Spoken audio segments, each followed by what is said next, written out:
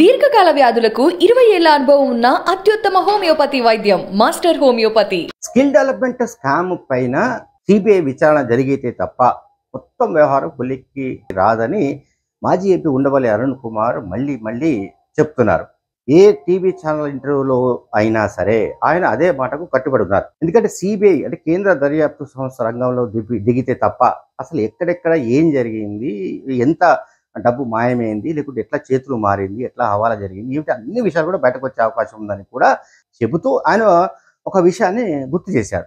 గతంలో ఉమ్మడి ఆంధ్రప్రదేశ్కు చీఫ్ సెక్రటరీగా పనిచేసి రిటైర్ అయిన మోహన్ కంద ఈ మధ్యకాలంలో కొన్ని ఇంటర్వ్యూల్లో వైఎస్ రాజశేఖర ముఖ్యమంత్రిగా ఎట్లా పనిచేశారు చంద్రబాబు నాయుడు గారు అయితే ఎట్లా పనిచేసేవారని మోహన్ కంద చెబుతూ అందులో ఒక పాయింట్ను ఆయన స్పష్టంగా చెప్పారు. ఏంటంటే మనం ఏ ఫైల్ తీసుకువెళ్ళినా కూడా ఆ ఫైలును చాలా డెప్త్లోకి వెళ్ళి చూడాలి డెప్త్లోకి వెళ్ళి దానిపైన నిర్ణయాలు తీసుకోవాలని చంద్రబాబు నాయుడుకు ఉంటుంది. కానీ అదే సమయంలో వైఎస్ మాత్రం కాకుండా దాన్ని అంటే పని విభజన అంటే అది ఏ డిపార్ట్మెంట్ సంబంధించిందో ఆ డిపార్ట్మెంట్కి పంపించమని మాత్రమే చెప్పేవారని కూడా మోహన్ కంద ఇంటర్వ్యూలో చెప్తున్నట్టుగా చెప్పినట్టుగా ఉండవల్లి అరుణ్ కుమార్ చెబుతూ ఆయన మరికొన్ని విషయాలు కూడా చెప్పారు. అసలు ఈ కేసులో స్కిల్ స్కామ్ కేసులో సిఐడి ఏపీ సిఐడి కంటే ముందే జిఎస్టి ఇంటెలిజెన్స్ సంబంధించిన డిపార్ట్మెంటు ఎంక్వైరీ జరిపి చాలా విషయాలను వెలుగులోకి తీసుకొచ్చింది. చాలా విషయాలపైన జిఎస్టి వెలుగులోకి తీసుకొచ్చిన తర్వాత ఇన్కమ్ ట్యాక్స్ కానివ్వండి ఎన్ఫోర్స్మెంట్ డైరెక్టరేట్ కానీ వీళ్ళు ఈ రంగ ఈ దర్యాప్తు సంస్థలు రంగంలో దిగి మొత్తం ఈ లోగొట్టు బయటకు తీయడానికి ప్రయత్నించింది. అయితే సీఎంగా కంటే సిఇఓగానే తాను గుర్తింపు తెచ్చుకోవాలని సిఇఓగానే తనను అందరూ అభిమానించాలని కోరుకునే చంద్రబాబు నాయుడు గారికి ఈ స్కిల్ స్కామ్ జరుగుతున్నప్పుడు అంటే దానికి సంబంధించిన ప్రాసెస్ ఆ డిపార్ట్మెంట్స్లో క్యాబినెట్ నిర్ణయాల్లో అటువంటి చోట జరుగుతున్నప్పుడు సిఇఓగా చెప్పుకునే చంద్రబాబు నాయుడుకు ఎందుకు తెలియదు అని కూడా ఉండవల్లి ప్రశ్నిస్తున్నారు. ఉండవల్లి అరుణ్ కుమార్ గారు చెప్పేది ఏంటంటే చంద్రబాబు నాయుడు తనకు తానే సిఓ అని చెప్పుకుంటున్నప్పుడు మరి సిఓ ఏం చేస్తున్నట్టు? ఎక్కడ అసలు ఈ స్కిల్ డెవలప్మెంట్కు సంబంధించి ఎక్కడ ఈ అవినీతి బీజం పడింది? ఏ రకంగా స్కామ్కు దారులు తెరుచుకున్నాయి? ఎవరు ముందుగా దాంట్లో అటువంటి ఆ, చేయొచ్చు అని ఎవరు దాన్ని కనిపెట్టారు? ఇదంతా కూడా ఆయనకు తెలియకుండా ఎట్లా ఉంటుంది అని కూడా ఆయన అన్నారు. అయితే ఈ కేసులో అంటే సిబిఐ ఇన్వెస్టిగేషన్ ప్రాసెస్ చేపట్టిన తర్వాత ఒకవేళ సిబిఐకి కోర్టు కనుక ఈ కేసు సిబిఐకి ఇవ్వాలి అని ఆదేశిస్తే అప్పుడు జరిగేది ఏమిటి అనే దానికి సంబంధించిన ఉండవాలి చెబుతూ ఈ కేసు సిబిఐకి ఇచ్చిన తర్వాత కూడా తనకేం సంబంధం లేదని చంద్రబాబు తప్పించుకోవచ్చు. కానీ చంద్రబాబు నాయుడుకు తెలియకుండా ఎట్లా ఉంటుందని కూడా ఆయన అంటే ఆయన అడ్వకేట్ కాబట్టి దాన్ని ఎట్లా ఇంటర్ప్రిట్ చేయాలో అట్లా ఇంటర్ప్రిట్ చేశారు ఆయన.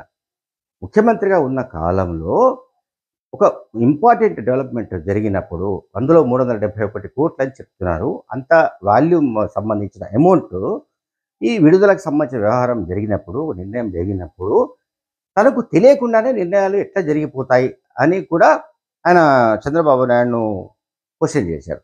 అట్లాగే చంద్రబాబు నాయుడు గురించి మరికొన్ని చురకలు కూడా ఆయన అంటించారు ఉండవల్లి ఆయన ఏం చెప్తున్నానంటే చంద్రబాబు ప్రతి సందర్భంలో కూడా అన్నీ నాకు తెలిసే జరగాలి అన్నీ నాకు తెలిసి ఉండాలి అన్నీ నాకు ఇప్పుడే తెలియాలి అనే ఒక ధోరణితో ఆయన వ్యవహరిస్తూ ఉంటారు. అటువంటి అప్పుడు అంటే అన్నీ నాకే తెలిసి ఉండాలి నాకు తెలియకుండా ఏం జరగకూడదు అని అనుకునే తత్వంతో పనిచేసే చంద్రబాబు నాయుడుకు ఈ స్కిల్ డెవలప్మెంట్ సంబంధించిన స్కామ్ కావచ్చు మరొక స్కామ్ కావచ్చు ఏమీ జరగకుండా ఎట్లా ఉంటుందని కూడా ఆయన ఒక మాట అంటున్నారు. ఇంకొకటి ఈ దీని ఏమంటారు ఆ, ఏపీలో ఉన్న ప్రభుత్వం గురించి మాట్లాడుతూ వైసీపీ అద్భుతంగా పనిచేస్తుందని నేను ఎప్పుడూ చెప్పలేదు. అయితే అదే సమయంలో జగన్ ఏదైతే ఒక వర్డ్ కాయిన్ చేసి వదిలాడో దానికి సంబంధించిన ప్రభావం ఉండే అవకాశం ఉందని కూడా ఆయన అన్నారు. అదేమిటంటే క్లాస్ వార్ అంటే పేద ప్రజలకు పెత్తందారులకు మధ్య జరుగుతున్న యుద్ధంగా జగన్ ఎప్పుడైతే ఈ అభివర్ణించారో ఆ యుద్ధంలో విజేతల సంగతి ఎట్లా ఉన్నా కూడా దాన్ని అట్లా ఆయన డైవర్ట్ చేశారని కూడా చెబుతూ జగన్మోహన్ రెడ్డి గారు ఎప్పుడైతే పేద ప్ర- పేద ప్రజలకు సంక్షేమ ఫలాల రూపంలో పెద్ద ఎత్తున కార్యక్రమాల రూపంలో అమలు చేస్తున్నప్పుడు లబ్ధిదారు పెద్ద ఎత్తున వాళ్ళకు ప్రయోజనాలు చేకూరుస్తున్నప్పుడు ఆ ప్రజలు సహజంగానే జగన్ పరిపాలన పట్ల సంతృప్తి ఉంటుంది ఉండదని చెప్పడానికి లేదని కూడా ఆయన అన్నారు. అయితే జనసేన టీడీపీ కలిస్తే ఆ టీడీపీకి కొంత మైలేజ్ మైలేజ్ వచ్చే అవకాశాలు ఉన్నాయని కూడా ఆయన ఒక ఒక మాట అన్నారు. మరి పూర్తిగా కొట్టిపారలేదు. కానీ జగన్ ఏదైతే ఒక మాట వాడారో అంటే ఎవరు సంక్షేమ కార్యక్రమాలు అంటే పేద ప్రజలు కాని వాళ్ళు. సో అంటే బీపీఎల్ కాని వాళ్ళు అంటే బిలో పావర్టీ లైన్లో లేని వాళ్ళు కానీ లేకుంటే పేదవాళ్ళు కాని వాళ్ళు ఏదో మధ్య తరగతి లేకుంటే ఇంకా పారిశ్రామికవేత్తలు పెట్టుబడిదారులు లేకపోతే అటువంటి కొన్ని శక్తులు ధనబలము సంపద ఉన్న వాళ్ళు వాళ్ళు జగన్ వ్యతిరేకిస్తుండొచ్చు దాన్ని మనం కాదడానికి లేదు. ఆ సెక్షన్స్ కొన్ని వ్యతిరేకిస్తాయి. అదే సమయంలో ఎవరైతే తమకు సంక్షేమ కార్యక్రమాలు అమలు అవుతున్నాయో ఎవరైతే ఎవరి వలనైతే తమకు ప్రయోజనం లభిస్తుందో ఆ సెక్షన్స్ మాత్రం పక్కాగా జగన్ వైపే ఉండే ఛాన్సెస్ ఉన్నాయని కూడా ఆయన ఒక ఇంటర్వ్యూలో చెప్పడాన్ని ఇక్కడ మనం అర్థం చేసుకోవచ్చు. అంటే ఓవరాల్గా ఏంటంటే ఆయన చెప్పింది ఏంటంటే చంద్రబాబు నాయుడుకు తెలియకుండా ఏది జరిగే అవకాశం ఎప్పుడూ లేదు. ఉమ్మడి ఆంధ్రప్రదేశ్ ముఖ్యమంత్రి ఉన్నప్పుడు కానీ ఏపీ విడిపోయిన తర్వాత two thousand fourteen to nineteen వరకు జరిగిన అనేక నిర్ణయాల్లో కూడా చంద్రబాబు చంద్రబాబుకు తెలియకుండా ఏది జరగడ జరగడానికి ఛాన్స్ లేదు. ఎందుకంటే ఆయన అన్నీ తెలుసుకుంటారు అన్నీ అవగాహన చేస్తారు చేసుకుంటారు అండ్ అధ్యయనం చేసిన తర్వాతే దానిపైన ఒక డిసిషన్ తీసుకునే వైఖరితో ఉంటారు తప్ప అది వైఎస్ఆర్ లాగా మరికొంతమంది ముఖ్యమంత్రుల లాగా దాన్ని ఈజీగా మరొకరికి అంటే ఆ- ఆ రకమైన డిసిషన్ తీసుకునే విషయాన్ని వికేంద్రీకరించడం అటువంటి పనులేమి ఆయన చంద్రబాబు చేయడు కనుక ఈ స్కామ్కు సంబంధించిన వ్యవహారంలో పక్కాగా చంద్రబాబుకు గ్యారంటీగా ఆయనకు నాలెడ్జ్ ఉండి ఉంటుందని కూడా ఆయన అన్నారు.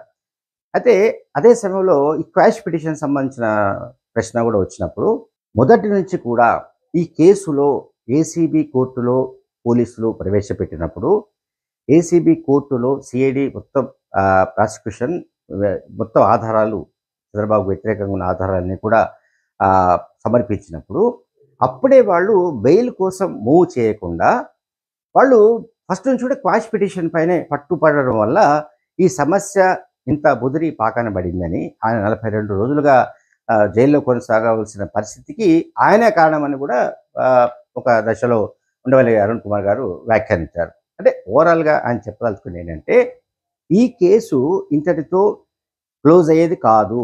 ఇది సిబిఐకి వెళ్ళవలసిందే.